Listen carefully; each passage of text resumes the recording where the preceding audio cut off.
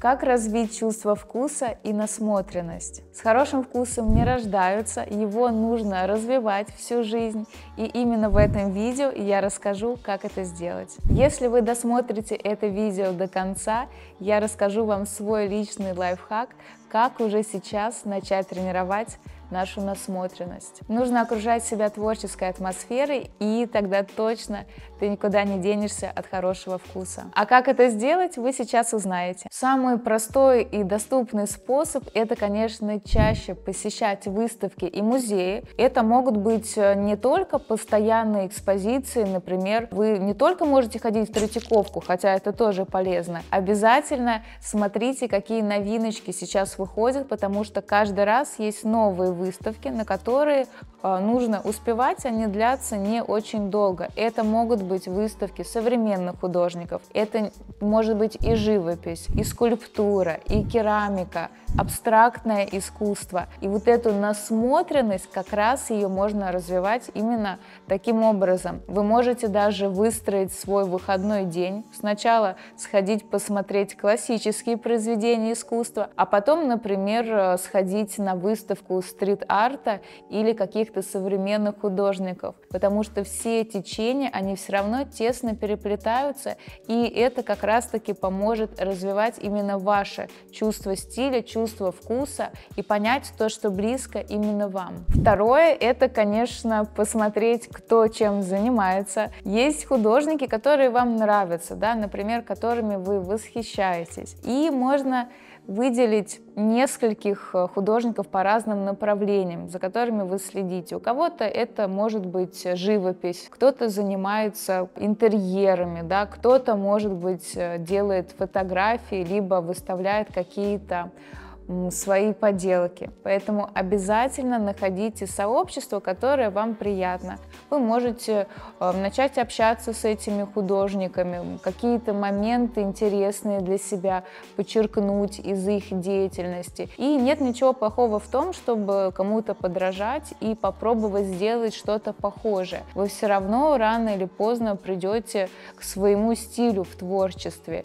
А немножко подсмотреть у кого-то всегда можно, особенно если этот художник вас восхищает. Если вам нравится скульптура напротив ГЭС, поставьте лайк этому видео. А если вам не нравится эта скульптура, то тоже поставьте лайк. Мы можем с вами искать вдохновение не только в картинах и посещая галереи и музеи. Это могут быть также и фото-выставки, потому что в очередной раз смотришь на какой-то интересный ракурс и думаешь, как же это сделано, как человеку это пришло в голову. Поэтому можно посмотреть мир немного иначе, вдохновиться. Опять же, тренировать насмотренность, посещая фото-выставки. Если вы хотите сходить в кино, вы можете выбрать не обязательно сеанс на какой-то популярный блокбастер, а сходите на авторское кино. Вы можете зайти художественный кинотеатр и выбрать там какую-то ленту, классика, не обязательно современность, это может быть какая-то ретро-лента. Фильм, который будет для узкого просмотра и будет именно вам интересен, и вы найдете там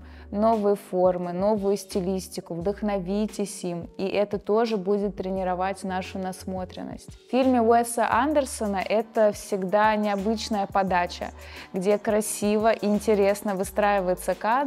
Интерес представляет собой симметрично, ровно выстроенный кадр, и это очень необычно для кино. Такими необычными, на первый взгляд, вещами можно вдохновиться и применять в своем творчестве. Еще одна неотъемлемая часть, конечно, для стиля, это посещение различных мероприятий, выставок, мод, показов, где вы можете посмотреть на дизайнеров, посмотреть на их модели, как они передают современные интересные тенденции в моде, особенно для тех, кто любит ходить по магазинам. Если мы говорим про магазины, всегда обращайте внимание на красиво выстроенные витрины. Это тоже элемент творчества, и можно вдохновиться. Согласитесь, что красивая витрина, она представляет собой тоже такое произведение искусства и картину в формате 3D как будто. Часто я даже заглядываюсь на какие-то витрины, можно рассмотреть, как это сделано, почему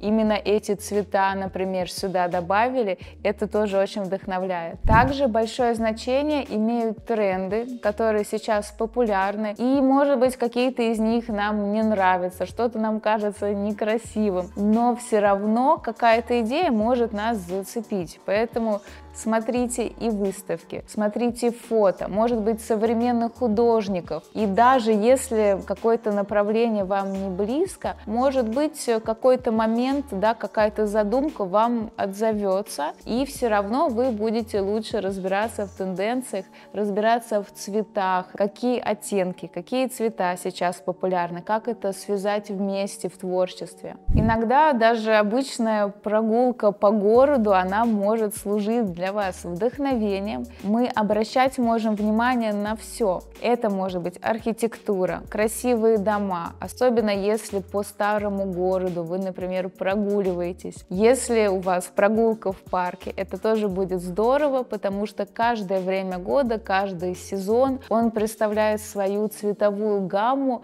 а природа — это вечное вдохновение для нас всех и для художников в том числе, потому что цвета мы берем от природы. Оттенки, которые были сегодня, завтра они могут поменяться и Подмечайте вот такие мелочи, нюансы. Это может быть цвет земли, это может быть кленовый листик, различные оттеночки в нем. То есть все, что нас окружает, это и тоже влияет на нашу насмотренность. Если вы художник, то вы знаете, что полезно изучать работы классиков и их копировать. Это не является чем-то плохим, либо зазорным, наоборот. Сделать несколько копий ваших любимых картин будет всегда полезно, потому что вы и погружаетесь в атмосферу творчества. Вы представляете, как художник, как он наносил движение кистью, как он делал именно эти мазки. Вы приближаетесь и к нему, к его этой картине, и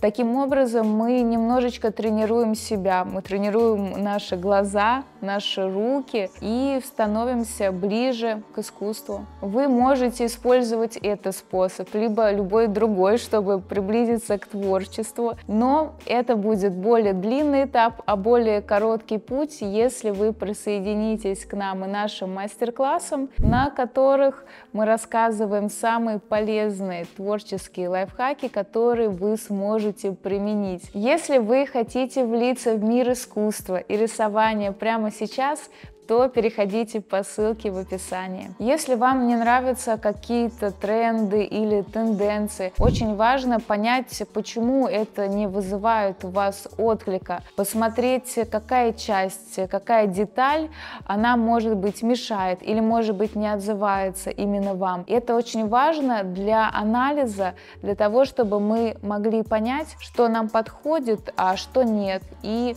почему там та или иная тенденция, она именно вам подходит. Когда вы начнете заниматься творчеством сами, это позволит вам делать намного меньше ошибок. Я вам хочу рассказать мои личные лайфхаки, как вы можете начать практиковаться именно сейчас. Во-первых, вы можете завести скетчбук, в котором вы будете зарисовывать все, что вас окружает. Это может быть утренняя чашка кофе с круассаном, например, букетик цветов, вид из окна. Это может быть какой-то пароход прохожий или собака, все что угодно вы можете зарисовать и не обязательно это делать красиво. Это могут быть быстрые скетчи, наброски, а рядом вы можете дополнять их текстом, например, написать, что вы видите вокруг на улице, или какое у вас настроение, или какая погода. Небольшие тексты будут и познавательны одновременно, как дневник для вас в будущем, и смотреться это тоже будет очень красиво, потому что рукописный текст всегда смотрится здорово вместе с картинкой. Также